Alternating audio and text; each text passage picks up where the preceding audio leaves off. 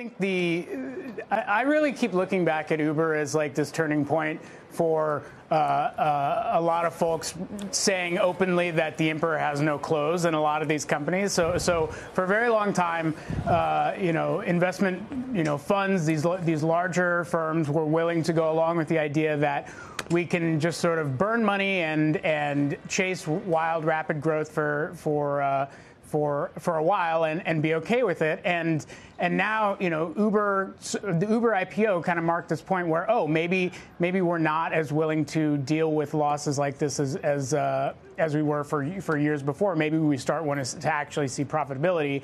And now we're going to start looking at uh, fund managers uh, looking backwards and saying, you know, maybe doing a version of history that might be a little stronger than is actually real. You know, like how how loud were the voices in the room saying, you know, we shouldn't be chasing this this growth. So I don't know. I mean, everyone kind of likes to look in retrospect and say, hey, I was the the voice of reason here, but um, but I'm. It's funny to see them kind of coming out sw- swinging right now.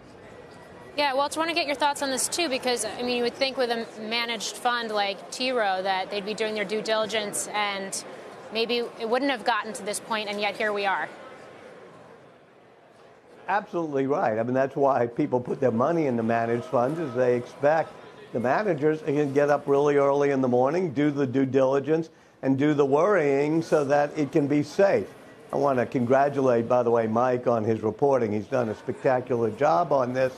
But I was very oh, disappointed you. in the managers of T. Rowe Price saying things like, oh, it wasn't our fault. You know, they wouldn't let us out of the last part of the investment. Or we kept trying to tell them things and they wouldn't listen. Well, if you've got yourself into a situation where your people aren't listening to you and you've locked yourself in so you can't get out of the investment without their permission, that's your fault. So I don't want managed funds that manage my money that way. So you think it's just Walter another black eye for, for active and managed funds, basically, and, and will keep people flowing into index funds and ETFs? Well, you have to figure out why are people flowing into index funds. I think it's things like this. Now, I also think one of the situations here, and Mike can comment on it, is that sometimes you have companies, and I know this having written about Apple in the early years with a Steve Jobs, where it's truly driven by a passionate founder. And sometimes that works really well. And sometimes, as with Apple, it's got to go through a cycle. And then it works really well when Steve Jobs comes back. But whether it's Travis Kalanick, you know, or Adam Neumann or what others, you must have some restraints when there's this type of founder burning through money. Yeah.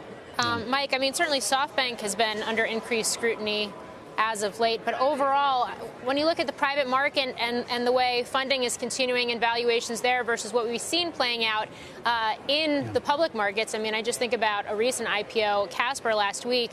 Uh, that ultimately it's trading another name that is another unicorn in the private market that's trading well below its IPO, IPO price and at more than half the valuation it had in the private market. Um, is this reckoning actually happening right now. Is there actually, I guess, a move between these two different marketplaces to, um, I guess, come to come to reality with each other? Yeah, totally. No, I mean, so look, I um, just speaking to you know Steve, uh, the Steve Jobs sort of phenomenon. I mean, Walter knows this better than anyone. You know, I think a lot of investors, a lot of funds out there want to find that next Steve Jobs, especially in his passing. And and part of the investment thesis is really finding those those founders that have that level of passion, that level of drive to take companies to the next level and, and really seeing visionaries where other other other investors might not see them. And and perhaps, uh, uh, you know, perhaps there was probably a little more willingness to see that in, in folks like like Adam Neumann and, and maybe Travis. You know, the jury's sort of still out on him, but uh, but on these founders that. Uh, that pushed it too far, and now I think we're seeing that sort of repositioning right now, where you know we, we, we haven't necessarily found that next Steve Jobs for each company, and, and the market is kind of coming back down to reality. And, and perhaps now this is this era of, hey, let's, let's try to get to profitability in, in public facing companies. And, and maybe, maybe uh, in the meantime, maybe when we get back to rationality, that, that next, found, the next like, visionary founder will come come uh, come whether we expect it or not. Well, let me ask you, Nancy, as an can I follow up on that real quick? Uh, Okay, go ahead, Walter. just real quick, I think we ought to make clear that Travis Kralanick and Adam Neumann did have a lot of vision. I mean, man, creating Yeah. Uber, that's amazing. And in this day and age, having a co-working space that cha- that deals with the changing workforce and doing it in the way he did, those were great visions. I'm just saying somebody Yeah. needed to oversee the cash flow a little bit better.